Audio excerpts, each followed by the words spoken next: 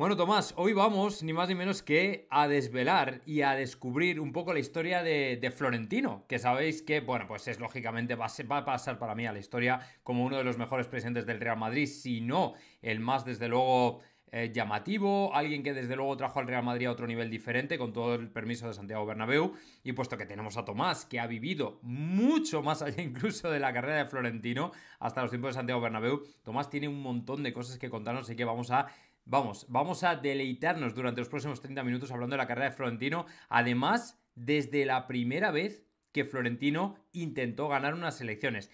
Tomás, corrígeme si me equivoco. Florentino Pérez, estamos en el año 1900, si no recuerdo mal, 96. Corrígeme si me equivoco, ¿vale? Y en esas elecciones que el Real Madrid tiene, eh, está entre la reelección de Ramón Mendoza y Florentino Pérez, que se presenta como alguien desconocido para el gran público. ¿Quién es ese Florentino Pérez que hasta entonces solamente es eh, socio del Real Madrid? No sé si se le conocía en, otros ámbitos o le conocíais o habéis tenido la oportunidad de charlar con él. ¿Quién es ese desconocido Florentino Pérez que trata de ascender a la presidencia del Real Madrid y ganarle a Ramón Mendoza?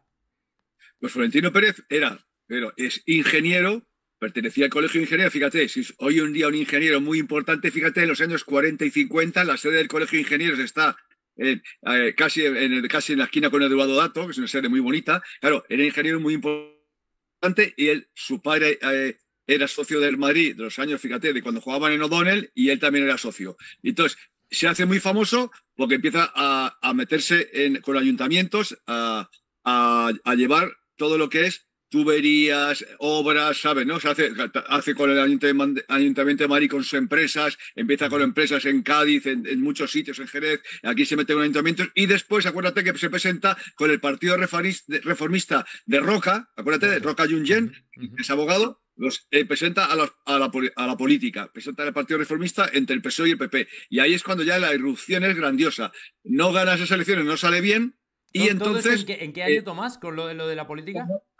Ochenta y pico, ¿sabes? Empieza ya ochenta y pico, ¿sabes? 88, ¿sabes? 89, 90, y ella ya era conocido. Pero ya entonces después él conocía muy bien como funcionamiento de todos los ayuntamientos de las eh, comunidades autónomas, entonces con todas sus empresas hacía obras en todas las comunidades autónomas. Ya era muy conocido a nivel político y a nivel empresarial, no a nivel popular. Entonces, ¿qué pasa? Dice, oye, tú eres madridista, sí, yo soy muy del Madrid, eh, bueno, porque mi padre lo ha sido, he ido siempre al campo, él vía a jugar a Estefano, a Puskas, a gente, que eso la gente no lo conoce, ¿no? Él iba al campo, siendo un ingeniero, claro, es decir, que era una de las personas de alto nivel que iban al, fútbol antiguamente, vamos, dentro de lo que cabe, ¿no? ¿Me entiendes? Porque si un ingeniero hoy grande, fíjate, que yo siempre soy un ingeniero en los años 40 y 50, era muchísimo. Y que cuando era, eh, estudiaba de ingeniero conocía a su mujer, que con la que se casa, pero después en el 96 dice, pues venga, me, me voy a presentar a elecciones, dice, eh, eh, quiero, conozco el Madrid, soy empresario, tengo muchos contactos, y lo que hace, va como un tren, ficha periodistas deportivos para que le lleven la... la, ¿Ah, sí? sí? ficha periodistas deportivos, claro, él siempre... Esto es un, eso es un coitus que hacemos aquí, de un interruptus. Mira, dices, a mí me gustan los periodistas deportivos porque son mercenarios, son capaces de escribir de cualquier sitio. Él nos odia, pero nos admira, porque los demás periodistas, lo de, economía, los de eh, política, va a parecer que son de lacito, que me pongan aquí el cable y, me siento en el partido político, en, el, en donde sea, en la sede de las elecciones y que escriban. No, los periodistas deportivos somos, escribimos desde el suelo de un campo de fútbol, desde un bar, tirados en la grada, eh, enchufando a, la, cafetería de los estadios, le quitamos el café a los estadios en el campo de Villarreal para enchufar, ¿me entiendes? Y dice, soy mercenarios, a vosotros os han dicho que tenéis que mandar las crónicas y no nos contáis cómo. Y eso le gusta mucho, y lo sabe. Él nos odia, pero se admira. Admira a los periodistas deportivos de prensa escrita, ¿eh? Me refiero de prensa escrita, ¿eh? Cuidado. ¿Sabes? Sí, sí, sí. admirado. Siempre, siempre. Y entonces ficha gente de la prensa escrita siempre. Y tiene, hoy en día tiene en su gabinete de, trabajo de ACS y de todas las empresas que tiene, tiene periodistas que eran de prensa escrita, ¿eh? que lo sepas, lo sigue teniendo. Pero a lo que te voy con esto es que se presenta y ¿qué pasa? En verdad, sabes, que le digo a todos nuestros telespectadores de todo el mundo, de España y de todo el mundo, gana las elecciones de 1996. Pero a él le dan un listado con todos los socios, con todos los socios que van a votar y va casa por casa, se gasta un dineral porque él pone mucho dinero. Aquí quiero transformar el Real Madrid porque no puede seguir así, tiene una deuda de 400 millones y, no puede ser. Eh, digo, lo que hoy serían 400 millones de euros, para que nos entendamos. Sí, sí, sí, Al cambio, porque todavía estaba la peseta, pero faltaban cinco años para el euro. Eh, y entonces, lo digo porque después, cuando entra a las elecciones y la gana en el 2000, se encuentra con una deuda de 545 millones, que son las cuatro torres famosas, se hacen para que la deuda de 545 millones se salde y solo valen, las cuatro torres valen 545 millones para saltar la deuda. Pues fíjate, con Ramón Mendoza y Lorenzo San, del 96 al 2000, sube la deuda en 145 millones más. Cuando él entra en el 96, que es lo que digo, hay 400 millones de deuda. Dice, quiero eliminarla, esto verás, yo voy a transformar el Real Madrid, no puede ser. ¿Y qué pasa? Que él realmente gana las elecciones por mil o mil y pico votos. Pero le dieron un listado de los socios, como no tienes gente dentro del club, te voy a contar muy claro, Ramón Mendoza está fallecido y no, me puede contestar. Ramón Mendoza puso votos hasta de muertos, socios que ya estaban muertos para ganar. Eso que has escuchado es cierto.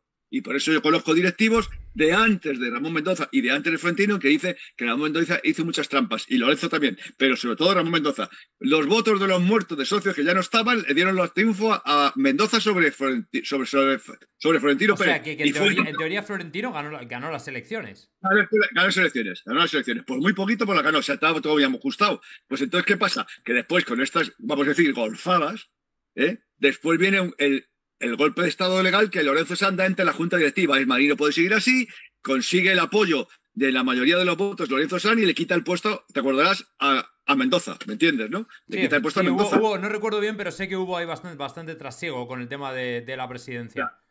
Eran amigos, eran amigos, pero dice, esto no puede seguir así. Y, entonces eh, Lorenzo San consigue, pues si eran 14 votos, consigue 8 de la directiva, pues 6, y gana por 8-6 y se queda. También ya, porque ya Mendoza había hecho muchas cosas, te lo cuento. Anteriormente, pues eh, bueno, eh, yo sé que Nemesio Fernández Cuesta, que era uño y carne con él, que era consejero de ABC donde yo trabajaba, eh, pues cuando, te lo voy a decir muy claro, yo publico la exclusiva, que la, conozco por alguien cercano al Real Madrid, y que va a venir a Schuster al Real Madrid, te lo cuento, fíjate cómo es, ¿eh?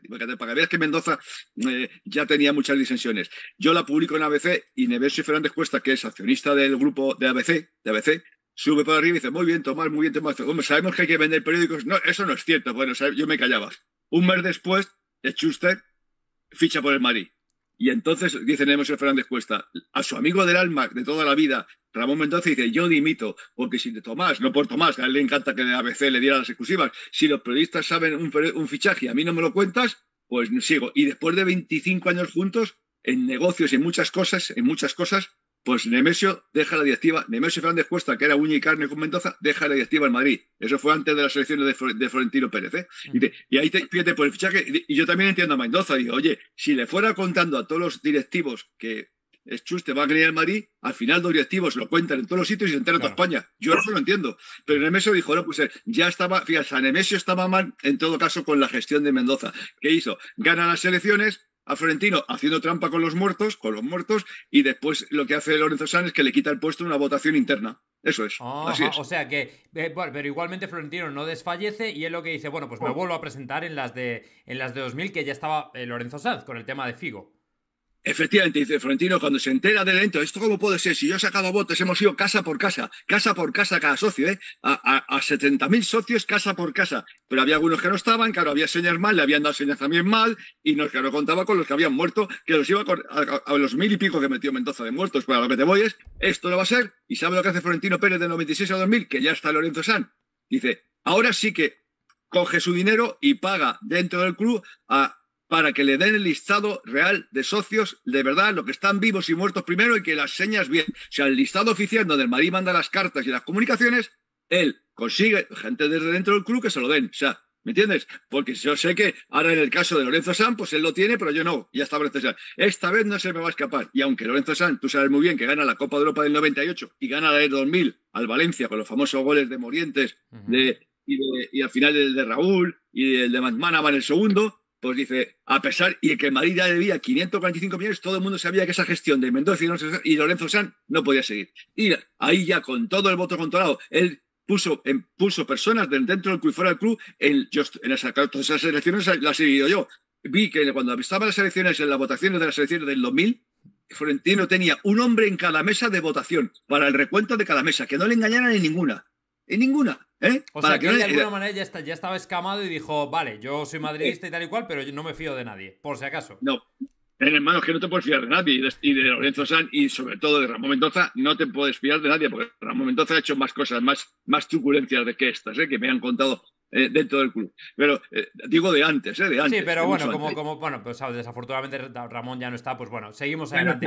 Este, eh, cuando, cuando, Florentino gana por fin las elecciones de, de, 2000 y él ya se ve con esa posibilidad, como comentas, la, primera, la, primera maniobra es directamente la de intentar saldar la deuda y al mismo tiempo diseñar el Madrid de los Galácticos. ¿Qué, qué Florentino ambicioso? ¿Cómo ve Florentino en ese momento el fútbol? ¿Cómo lo concibe? ¿Qué, ¿Qué es lo que él cree que tiene que hacer para llevar al Madrid a otra dimensión? Él eh, sigue los pasos de Bernabéu, pero dice, para, ahí te dice, para mí los entrenadores no cuentan nada. Hay que hacer grandes fichajes. Tenemos el CICO, se está reformando el estadio, se ha reformado el estadio, dice, está el estadio, y ya, dice, ya lo reformaré yo más tarde, me voy a encargar de la ciudad deportiva, pero lo importante, dice, hay que fichar. Dice, y entonces es un caníbal. A mí me dentro el decía, es un caníbal. Le presentaba ofertas a Zidane, a Figo, a Ronaldo, a, todo el mundo, a Beckham. Si hubiera podido, habría fichado a todos a la vez. Era en, el mismo año 2000.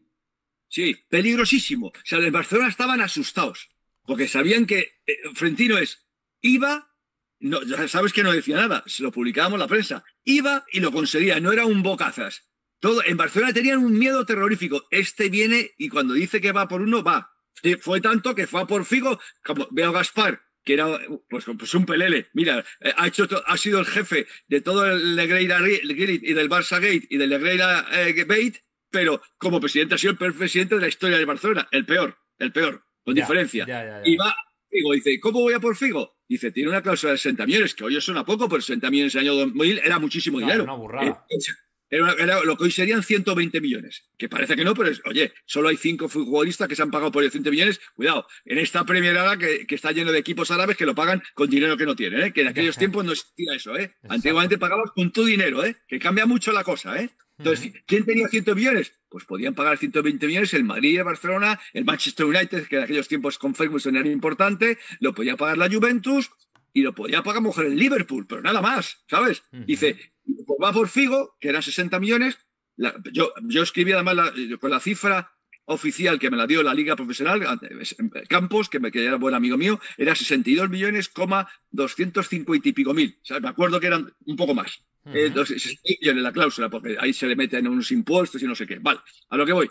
Más 60 meses, ¿y qué pasa? Dice, ¿sabes? Dice, si gano las elecciones, tú vienes al Madrid, ¿te acuerdas? Dice Figo, pues Veiga, que era su representante portugués, que era muy listo, dice, venga, lo firmamos. Si gana, como casi no va a ganar, que a Lorenzo ha ganado la Copa de Europa, Lorenzo se ha ganado la Copa de Europa, pues, y si la gana, pues mira, tenemos que irnos y pegas un pelotazo. Pero no lo esperaban ni Veiga ni Figo. Pero Veiga fue, fue completamente inesperado.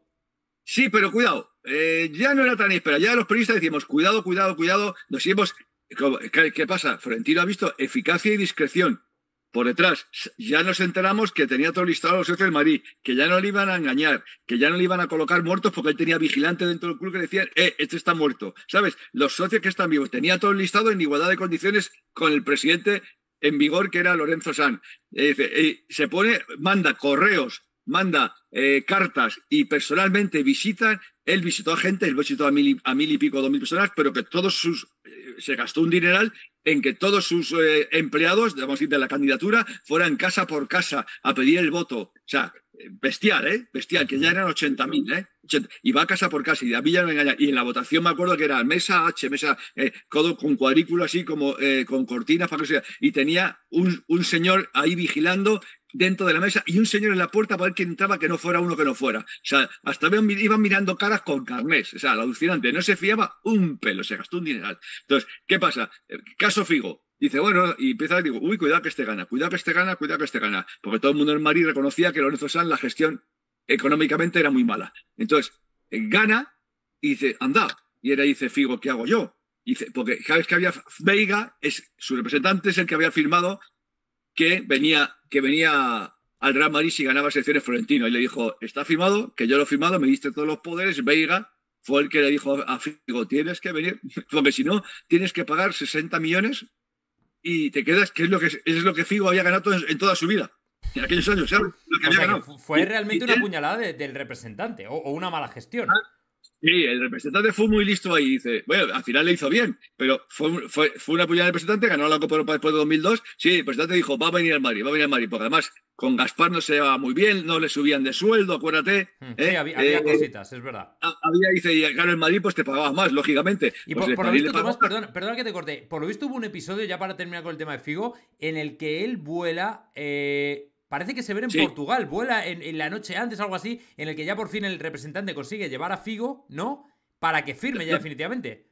Es mucho más. Él está Figo con su mujer, la modelo, que es una mujer magnífica, maravillosa, la que conozco. Están en las islas griegas de veraneo. Florentino va a las islas griegas, dice que Feiga ha firmado. No me digas, si su mujer, su mujer dice, no sabe, dice, ¿qué pasa aquí? Dice, pues estamos bien en Barcelona, claro, ella solo veía la ciudad de Barcelona. Dice, pues nos vamos a Madrid con el Madrid, no me digas. Entonces, ya antes de, antes de volver a entrenar con el Madrid o con el Barcelona, viene de las Islas Griegas, allí Florentino, y va a Lisboa. Y va un viaje relámpago también, Florentino a Lisboa el día anterior, que mañana si tienes que presentarte con el Madrid, si no, te denuncio y pagas y vas a pagar porque fíjate cómo hacen los contratos Florentino.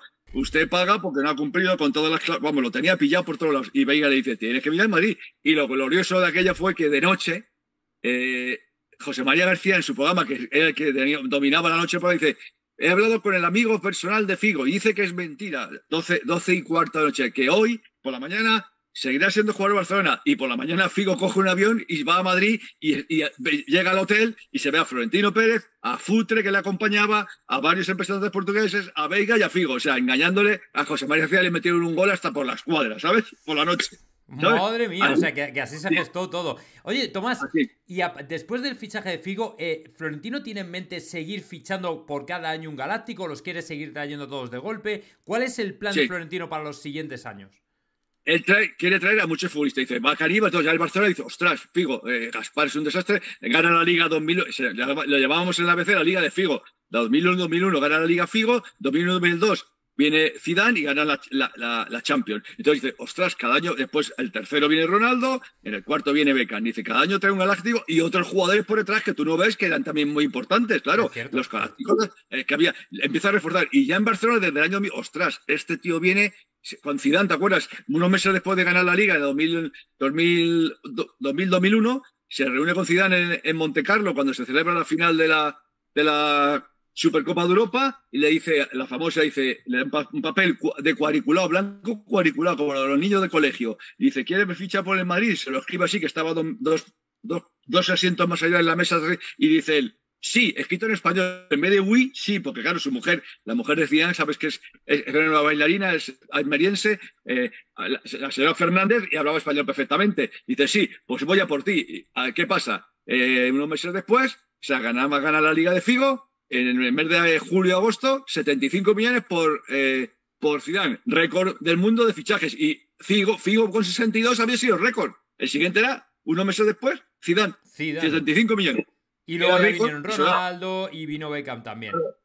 Esto es. Y él cada año era, y encima, claro, fíjate, gana la Copa de Europa del, del 2002, la de 2003, él le gana la Liga, pero es cuando, y, y, y claro, y, y, se queda en, la, en, semifinales de la Copa de Europa, y bueno, y claro, y, claro, el Barcelona dice, este es una arrasa con todo, claro, y entonces fichaba muchos jugadores, fichaba otros muchos jugadores, claro, era un equipo eh, de galácticos, dice, a mí a los jugadores les gustaban galácticos, dice, fichaba figuras, dice, ¿por qué? Dice, porque te voy a decir, cuando llega en el 2000, se encuentra con la deuda de 545 millones. ¿Qué hace Florentino Pérez? Pone de su, de su bolsillo, pone 140 millones para quitar, porque los intereses de los, de los que se debían a muy a corto plazo le costaban al Madrid 13 o 14 millones. O sea, voy a quitarlos, puso 145 millones, el Madrid ahí solo debería, seguramente sin ningún interés, y así quitó lo, de golpe los intereses. ¿Y qué pasó? Que el año 2001 el Madrid ya tenía cuentas azules. Ya, ya tenía puso dinero en su bolsillo para, para encarrilar la, la deuda de, del. Claro, eliminar, porque claro, cada año eran 13 o 14 millones de intereses, sobre todo los de los primeros años, cuando él llegó. Voy a quitar esto, pum, quitó lo de a corto plazo y dice: No te preocupes, ha visto, viene Figo, empieza a vender. No, es que cuando decimos esto, los, los de Barcelona, los atléticos, los barcelonistas, los anti... eh, vende camisetas, no, no vende camisetas, vende toda clase de productos el Madrid vende toda clase de productos. Figo eran medias, camisetas, de todo. O sea, la atracción de comprar fotos de Figo, todo de Figo es bestial, pero después viene Zidane y ya Zidane, Zidane en, que lo que, en lo que se convierte. Ya. El Madrid transforma el mercado y de pronto, que ya hay euro en 2002, ya consigue ingresar 300 millones de euros en marketing. en el merchandising. Que era, solo, le superaba, solo superaba el Manchester United, porque sigue la misma política del Manchester United, de hay que vender en todo el mundo. ¿Ves? El Madrid vende en todo el mundo. Sí, sí, porque, en ese momento, efectivamente, para la gente que no lo sepa, el Manchester United no era lo que soy. Era una auténtica máquina de facturar y de ganar también. Claro, no, no, ganaba tanto, lo que no ganaba tantas ligas ni ganaba, pero no, no es como hoy que está tan mal, estaba siempre luchando, en la Copa de Europa caían cuartos y finales, bueno, no, está, pero estaba en la pelea. el, Manchester City era, vamos, como el Zaragoza en segunda. Oye, Tomás, perdón, es que, claro, se me vienen tantas preguntas a la cabeza. En, ese, en esos momentos, ya en paralelo con los jugadores, la política de fichajes, que más o menos ya sabemos, ¿Cómo es en ese momento, hacia los primeros 2000, la relación, cómo sigue siendo de Florentino con los medios entre 2000, 2005? Porque muchos le atacan, le ven como, como dices tú, un caníbal que va por todo, otros le elogian. ¿Cuál es la relación de Florentino con los medios? Con los de Madrid se lleva bien en el sentido de que gana, ten en cuenta que llega, tú llegas nuevo, pa, Figo, Liga, oye, que estaba muy bien, una liga bien ganada, y además con el equipo, fíjate qué equipo jugaba, con Figo, un equipazo, con, era un equipazo con Raúl, con todo. O sea, eh, era todo, era todo. Eh, después, 2000, o sea, ficha el verano de 2001, nada más ganar la liga, a Zidane y es Figo y Zidane. Imagínatelo. Y ganan la Copa Europa a, la, Bayern Leverkusen cuando, eh, cuando irrumpe Casillas la de titular, que estaba César Selección, acuérdate, y ganan ahí, fíjate, estaba Solari, estaba, estaba Roberto Carlos, que era un equipazo, y cuando ganan la Copa Europa ya es, entonces, ¿cómo se va a llevar la empresa mal con él? porque es un caníbal, ha llegado al fútbol, está imitando a Bernabéu en el sentido, imitando, pero fíjate de que Bernabéu fichó, acuérdate, a Di Stefano, Puskas, Copa, gente, o sea, gente de la cantera del Racing, pero y, quiso fichar a Santa María, lo fichó más tarde cuando ya por fin lo, lo pudo conseguir, fichaba toda la figura, mira, a, a Joseito, a Marsal, a Rial, que era un jugadorazo, claro, dice, ¿y qué hace Florentino? Voy a fichar, dice, este estadio, este equipo tiene que ser, ha sido y es el mejor del mundo, y tienes que tener a los mejores jugadores del mundo, que es la frase de Bernabéu, y él la hace. Pero yo la voy a hacer efectiva en este mundo global, con extranjeros, no como antes, que es mucho más difícil ahora. Eh, mucho, era mucho más difícil en, este siglo, lógicamente. Pero, por ejemplo, lo que has comentado tú antes, José María García, bueno, se ha caracterizado siempre por, por odiarle, literalmente, a, que por aquel entonces José María García, vamos a decir, era la referencia del periodismo. ¿Por qué esa inquina contra, contra Florentino? Porque, o sea, antiguamente José García era, que lo digo para todas las noches, olvídense, no estaba el chiringuito de tele, no había ningún deporte, de, ningún programa televisivo de fútbol, solo había radio y José María García estaba contra la SER, contra eh, la COPE, que era Radio Popular, tal. José María García le escuchaban el 90% de los oyentes, escuchen ustedes, el 90, el 10% se lo repartían los demás. Y Radio Nacional también tenía el o sea, de noche y de día.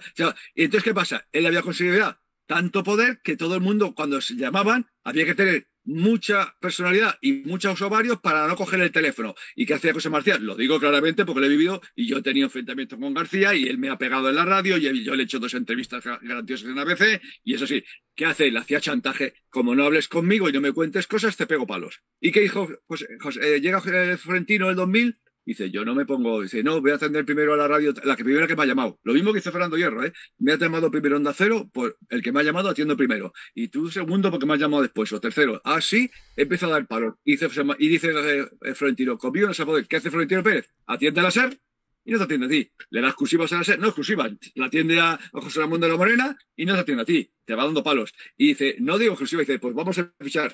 Claro, dice, ¿qué pasa? En baloncesto se atiende a la SER atiende a Radio Nacional y atiende a Onda Cero y no te atiende a ti. ¿Me entiendes lo que te digo, no? O sea, que le, va aislando, por así decirlo. Al tótem del periodismo le va dejando solo. Claro, es decir, porque él sabía lo que había pasado con Mendoza. Y con eso San, que Mendoza, nosotros lo hemos titulado, y era amigo nuestro, amigo de la casa de ABC, y yo me llevaba muy bien. Mendoza, coma, genufleso ante José María García, que lo hemos escrito nosotros, con Luis María Anson de director. Porque y, Mendoza también tuvo sus problemas, y cuando no se le puso, le caían palos, y dijo, pues eh, dice, es que dice, Mendoza te decía, es que, ¿sabes qué pasa con García? Que lo entiendan nuestros telespectadores jóvenes de hoy y los que están en América, que no lo sabían a lo mejor, los que no son mayores. José María ponía el programa de 12 de la noche de España a 2 menos cuarto, pero es que el programa se repetía de, de 6 a 8 de la mañana. Y después el programa de local de 3 a 4 repetía todo lo que había hecho García y empezaba el, programa de ocho y media a nueve, el nocturno, y también, y se había fútbol. Entonces, te estaba machacando las 24 horas, y dice, el que no lo había escuchado por la mañana, lo escuchaba por la tarde, o sea, dice, decía Ramón Mendoza, es que al final García hace opinión porque te está machacando todo el día. Claro. Todo el día. Machacón, machacón, machacón. Entonces, ¿qué pasa? Entonces, ¿qué pasa? Florentino te dice, yo a ti no te voy a... ¿Qué te crees? ¿Que vas a poder conmigo? A, conmigo has, has, pinchado un hueso. Fíjate, siempre, fue el final de García. En 2002 estaba eh, deportivamente, periodísticamente muerto. Muerto. Sí, sí, porque, porque fue una, una, caída abrupta totalmente. Pero claro, pues, no, fíjate, por encima gana la Liga y después gana la Champions en 2002, a Javier García como si no existiera. Ni te atiendo. Oye, Tomás, y ya en esta, en esta línea, claro, lógicamente, cuando, cuando Florentino le pone las cosas claras y pone en cintura al periodismo, que era José María García, sí. pero también lo hace con Sí. los jugadores. Y aquí te tengo que preguntar, porque una noche de 2003, el Real Madrid, tras ganar una liga en Bilbao, tiene un- Sí. una especie de un conato, ¿vale? De rebelión a bordo. Me estoy refiriendo al episodio del Chistu entre Fernando Hierro y, y Florentino. Un poco porque representa la nueva mentalidad de que el Madrid está por encima de todo, incluidos los jugadores. Entonces, Ahí está. va- vamos, vamos a hablar, sí, ahora vamos a hablar un poquito en detalle de ese episodio y cómo Florentino también cambia esa mentalidad. Efectivamente. Florentino Pérez, efectivamente. Llega al Madrid y dice, como que aquí lo, veter- lo que te estaba contando, toda historia lo hemos contado de que a Xavi se le han revolucionado los, los veteranos como Araujo, como Lewandowski, Gundogan, los tiene en contra. No. En aquellos años había llegado Florentino y ¿qué pasaba? Que con Mendoza y con San mandaban Hierro, Raúl, Morientes, Michel Salgado, llega Florentino y los jugadores hacían lo que querían. Cuando gana el Madrid 2003 la Liga, efectivamente con Ronaldo Nazario también en el campo, Ronaldo Nazario, Zidane y Figo en el Bernabéu, le dice Florentino Pérez a Valdano, que era el director general y que era el portavoz que estaba abajo, que los jugadores de tantos aplausos den dos veces la vuelta al estadio. ¿Y sabe lo que dicen los veteranos? Y lo voy a decir, mi amigo Hierro y Morientes y Michel Salgado dicen, ¿cómo? Si damos las vueltas al estadio, que estaban acostumbrados a mandar, que nos quiten la prensa encima, que iban las ro- los, o sea, ¿quién iba detrás de ellos? Las radios con el micrófono corriendo para escuchar, que saben Claro. lo que es Claro. dice que nada malo. Y se ve a RAE, se ve a compañeros que tú conoces, se ve a, a compañeros que yo conozco. Y dice, o sea, era una tontería. como- Nos han dado muchos palos, muchos palos de qué? Porque habían perdido las semifinales de la Copa de Europa contra la Juventus, te acordarás, ¿no? Sí, Eh, ahí. Entonces, entonces, ahí, entonces, ¿qué pasa? Persiguen, eh, persiguen, entonces, no, se monta y dan las dos vueltas de, de mala manera. Entonces, cuando van a Chistu, como tú dices, a celebrarlo, dice, dice Florentino, ¿cómo que no dais, cómo que no dais, eh, esta gente es la que os da de comer, el socio que da de comer, el aficionado de comer, y, y no digo porque yo tenga que dar dos vueltas, tenéis que dar vueltas en agradecimiento a la gente, no, es que nos han pegado muchos palos, pues se han pagado la prensa, bueno, y claro, si pierdes, pues te pegan palos, y, y te acordarás que eh, Florentino y la directiva y mucha gente y la dirección deportiva culpa a Belbosque de sacar a Figo en aquella, en aquella semifinal ante la Juventus cuando estaba lesionado. Eh, no tenía salido. También pasó en la final de Copa del, de, que ganó el Deportivo en el que también jugó Figo lesionado. Eh, es- dice, no te dejes haber sacado Figo, haber sacado. Bueno, total, siempre se buscan culpables. Entonces, entonces, dice, aquí el Madrid está por encima de todo. Entonces, como ahí Hierro se puso gallito y del Bosque no está, pues el Bosque ahí no hizo nada. Pues, ¿qué pasa? Fue, fue una liga que se ganó muy bien, pero que empezaron los problemas porque, te acuérdate, eh, Florentino no renueva a Hierro, que estaba con Becky de representante, no renueva a Hierro, Eh, no renueva del Bosque, acuérdate que fue una liga Ya. bastante. El final fue no renueva a Julio Llorente, hermano de Paco Llorente tampoco, y está a punto, y lo digo, está a punto, y lo digo, de que eh, decir que fíjate lo que te digo, que ahora está Raúl aquí, lo voy a decir, pero que se ha traspasado Raúl porque también estaba en ese grupo de los que lideraban el equipo. Quería acabar y dice aquí no manda el club, no mandáis los jugadores, ¿me entiendes? ¿Eh? Cuidado, ¿eh? Cuidado. Dice, claro, dice, es verdad. O sea, que lanza, un mensaje al vestuario como diciendo, eh, se acabó el rollo de que aquí mandéis vosotros, se acabaron los cortijos, aquí el club está por encima de todo. Claro, digamos que estamos vendiendo imagen del Madrid y la imagen que dais, que no dais dos vueltas, es y de que está toda la prensa, pre- eh, con toda la prensa final, las radios, diciendo toda la noche, fíjate, los jugadores se han negado, Valdano lo ha intentado dos vueltas, en vez de hablar del título, estaban hablando de- del enfrentamiento. Claro, dice, esto no puede ser, somos del Madrid, la imagen total, que ha sido Florentino durante todos estos 23 años, que lo sabéis muy bien, dice, hey, hay que vender camisetas, hay que eh, atender, digo, hay que vender a todo el mundo porque tenemos la imagen de club que ganador y que atendemos a todo el mundo. Dice, los jugadores no puede ser que salgan de los coches corriendo de la ciudad deportiva y no saluden, ni bajen a dar autógrafos. No digo que estén tres horas, pero no seáis bordes, ¿te acuerdas? Sí, sí, sí. ¿eh? Y, y también les obliga, sobre todo los viajes que ha visto el Madrid fuera, siempre hay dos jugadores, uno que va a jugar y otro que no, que firman eh, las camisetas durante una hora y medio, con todos los socios y los, eh, los otros que pueden de los que están en, en- que van al hotel. Pero es- eso lo ha impuesto Florentino, eso no existía antes. Pues los jugadores, tú sabes cómo era, se escapaban por la portera y no atendía a nadie. Ah, No, no, no. Aquí, estos señores, estos que están aquí, son los que, lo que nos dan de comer. La imagen del Madrid es la gente. Y los que están aquí son radicales. Los que serán radicales pueden pensar que eres, que son tontos, que son radicales. O sea, te digo, estoy hablando coloquialmente. Tienes que atender, porque esa es la gente la que te da de comer. Y eso lo impuso Florentino porque los jugadores antes, ya como era, se escapaban con, con y con Mendoza, que hagan lo que quieran. Florentino vino a imponer. Y dice, voy a acabar con el poder del vestuario. No, si el club, no porque lo diga yo como presidente, ¿No os dais cuenta que había ganado una liga con tres estrellas que tenemos, que hemos perdido la Copa Europa hace un mes en, semifinales, pero que ganamos la Copa Europa el año anterior, que hemos vuelto a ganar la liga y no dais dos vueltas aquí al estadio? ¿Qué es esto? Y si digo que dais 16, dais 16. Claro. Porque para eso es cobrar. Sí, que de alguna manera les hace ver que, que, cobran del club y es así. Pues mira, relacionado con esto, Tomás, te tengo que preguntar, ya nos vamos un poco al lado más mediático y galáctico, la, parte de Ronaldo, Beckham, Figo, Zidane. Eh, sí. Voy a preguntar una pregunta muy corta, ¿vale? Pero muy directa. Sí. ¿Cómo es el Real Madrid de los Galácticos fuera del campo? Es decir, Roberto Carlos, Ronaldo, la pasión por la noche madrileña, la fiesta, que ahora no tiene, parece, tanta incidencia, pero que a principios de los 2000, que mucha gente que nos ve no lo sabe, el gran peligro de los futbolistas y con lo que más el mayor dolor de cabeza de la directiva era la fiesta. Y sabes que esa época es o se presta mucho a rumores, rumorología. ¿Es tan así como dicen? ¿Es tan, ¿Es tan verdad que era todo tan salvaje a nivel de montar fiestas después de los entrenamientos o de noches, de fiesta, de los jugadores que salían, que no paraban? ¿Es esto más mito que verdad o más o hay más de verdad de lo que pensamos? No, es, mucho más mito que verdad. Algunas veces cuando ganan partidos importantes, eh, ponte que han ganado un miércoles y a lo mejor o el martes juegan el sábado, hacía una fiesta de noche, ponte que empachá. Y estaban de noche y, y, tenían sus reservados y sobre todo un partido que no había Copa Europa, un domingo, un sábado jugaban, pues iban en, esa noche eh, varios jugadores y a ver, tomando sus, tomando sus zumos de naranjas y no sé qué, y estaban hasta las 3 4 y porque no jugaban hasta 6 días después. Eso pasa de vez en cuando, pero eso ya sabes, la gente exagera un montón. O sea, dice, no estaban todo el día de farra. Lo que pasa es que iban a días concretos, cuando tenías seis o siete días, pues mejor iban a Pachá o iban a tal. Una época, fue una época también. Era más, por ejemplo, Ronaldo Nazario. Ronaldo Nazario lo hacía en su casa. A él le gustaba poner música brasileña en su casa. Yo, mi, hermana le ha puesto muebles a Ronaldo en su casa, en la Moraleja.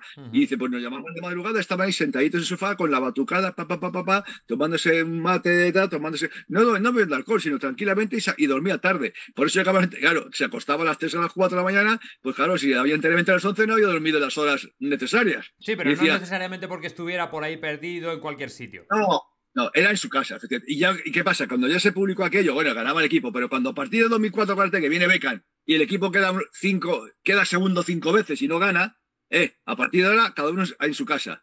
Se hace fiestuki, la fiestuque de tu, con tu mujer y en tu casita. No salgáis porque encima si perdéis os llaman galácticos, que ganáis mucho dinero y, la prensa carga. la, prensa del corazón y no, ya sabes. Y la prensa antimadridista que es mucha, porque ahí se juntan atléticos, barcelonistas y antimadridistas y la envidia. Entonces, eso es así. la envidia dice, los jugadores dicen, nosotros nos llaman galácticos. ¿Quién ha inventado los galácticos? ¿Serán ustedes? El marino lo inventó. Dijo Javier Clemente, dice, parece que cuando dicen galácticos, el gran seleccionado español y ganador de dos ligas con Bilbao, Javier Clemente decía, parece que cuando en galácticos como que corren y sudan. Claro que sudan como todos los demás. A los jugadores no les gustaba porque parece que ellos sabían que eran robots, que como una máquina, ¿no? como si no les.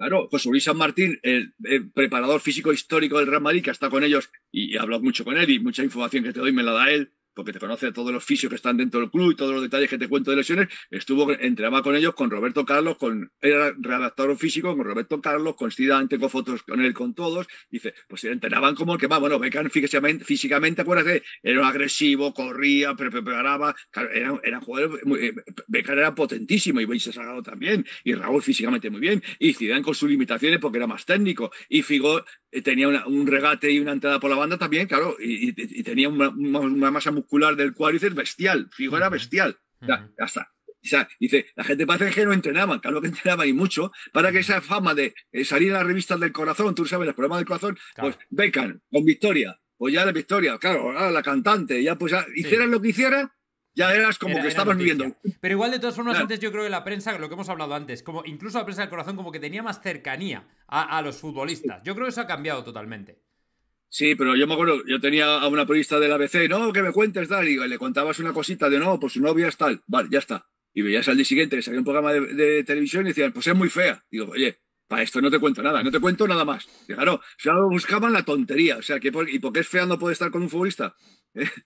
Es, alucinante. Y, lo publicaban. O sea, ¿qué pasa? Tú tienes que vivir de, estas, decir estas tontadas. Pues ya, mira, con, vosotros ya nada más. yo con el corazón corté.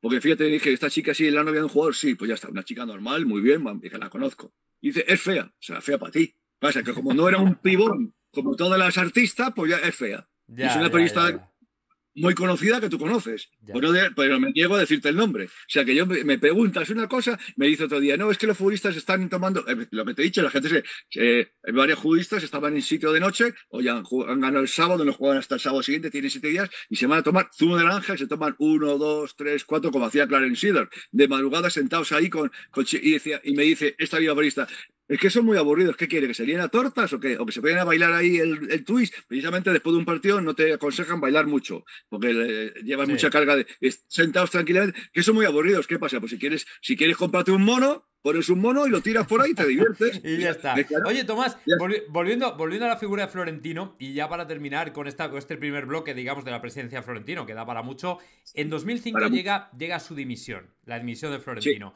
Eh, inesperada, pero entendida porque él cree que ha dado demasiado aire. A pesar del episodio de Hierro, él ha dado demasiado o ha tratado demasiado bien, ha mimado demasiado a los jugadores. ¿Por qué Florentino decide, una persona que, siempre está acostumbrada a conseguir lo que quiere, por qué decide que marcharse es el momento? ¿Tiene algún tema personal? Porque creo que comentó algo que tenía un tema empresarial también. ¿Cuál es el motivo por el que eh, Florentino decide marcharse?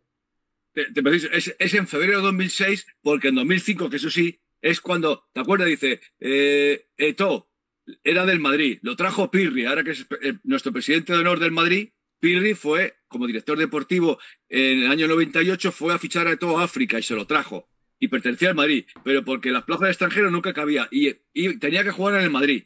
Pero acuérdalas cuando el Mallorca le vence al Madrid en el Bernabéu y se empieza a hacer gestos al palco. No me ficha, no me ficha. Y eso fue tiro. Se acabó. Y comete el error presidencial, que lo reconoce él, de vender solo a la Porta, al Barcelona de la Porta por 24 millones. En Mallorca. Allí siempre iban a Mallorca con su barquito y se lo vende. Y después, claro, todo triunfa en, el Barcelona, está unos años y triunfa ganando Copa de Europa, ya sabes, no solo por todo, estaba Ronaldinho, estaba, ¿me entiendes, no? Entonces, ahí se dice, un error. Y sobre todo, el otro error que, que reconoce es, acuérdate, él no quiere entrenadores. Entonces, ves, eh, eh, echa entrenadores como churros, echa del bosque 2003.